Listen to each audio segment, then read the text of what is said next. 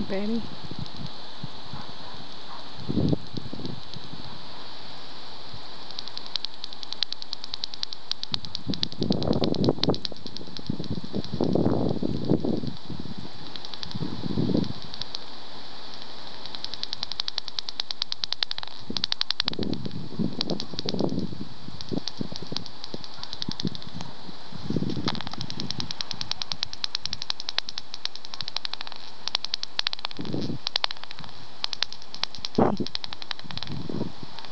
Bats are so cool.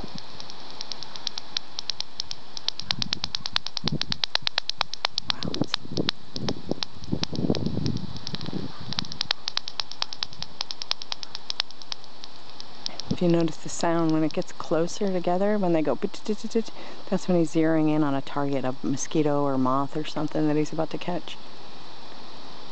I totally became a, uh, what's the word again? Uh, crap, I'm not gonna remember the word for a person that's a bat expert. Oh, I'll have to look it up. Ooh. Oh, it was a moth. Never mind, I got all excited. but, uh, now I gotta go look this up. It's gonna bother me. Um, but anyway, um, bats, uh, what is the bat? Bats are actually the only animal that has their own order, I think it is, in mammals. Um, and uh, chiroptera, chiropterologist, that's the word.